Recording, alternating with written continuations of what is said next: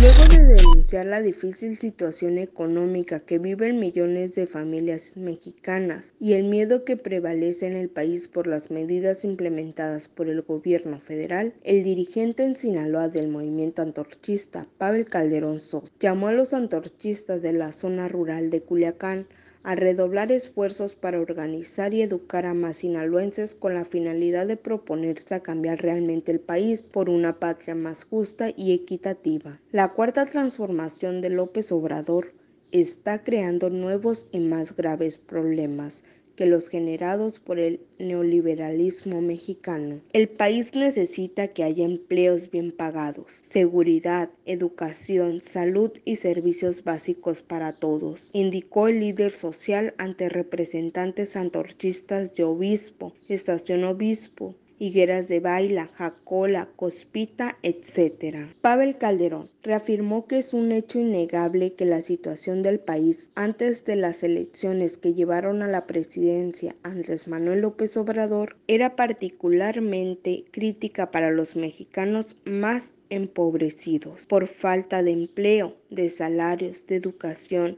carencia de servicios. Sin embargo, ninguna de las opciones políticas ha planteado una solución a fondo y la actual ha agudizado los problemas. El líder social llamó a los antorchistas a iniciar un proceso de educación política más amplia y profunda con la gente, pues será una herramienta fundamental en la transformación social que Antorcha impulsa desde hace 49 años en todo el país.